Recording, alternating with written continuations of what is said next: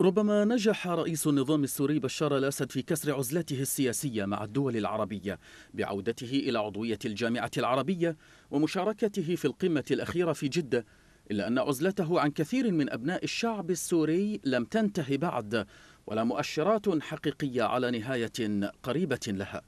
حديث الأنظمة العربية في جدة عن عودة اللاجئين السوريين يأتي بحسب مراقبين في سياق إمكانية الإمساك بورقة ضغط على حكومة دمشق بهدف الحصول على تنازلات من جانب الأسد فيما يتعلق بالنفوذ الإيراني. وهو أمر لا يحظى بتوافق عربي كامل لا سيما أن الأسد ربط عودة اللاجئين بإعادة الإعمار مطالبا تلك الدول بتقديم المساعدات المالية لإنجاز ذلك. الا أن الأسد والأنظمة العربية المرحبه به يتجاهلون أهم شروط عودة اللاجئين إذ تؤكد المفوضية الأممية لشؤون اللاجئين أن سوريا لا تزال غير آمنة لعودة من خرجوا منها قسرا بسبب الحرب.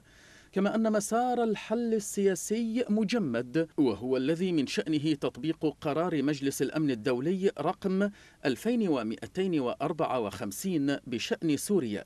ومن ثم رفع العقوبات الدولية عن النظام وإيجاد نوع من الضمانات الأمنية والقانونية والاقتصادية للعائدين.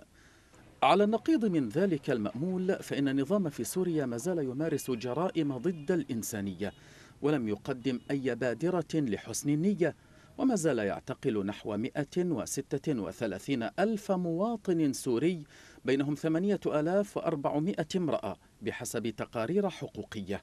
الأمر الذي يدفع الكثير من اللاجئين السوريين إلى القول بأن النظام الذي هجر متعمدا أبناء العديد من المناطق في سوريا لن يكون مسرورا بعودتهم وإنه يسعى فقط إلى محاولة الاستفادة من قضيتهم للحصول على بعض الأموال من المجتمع الدولي.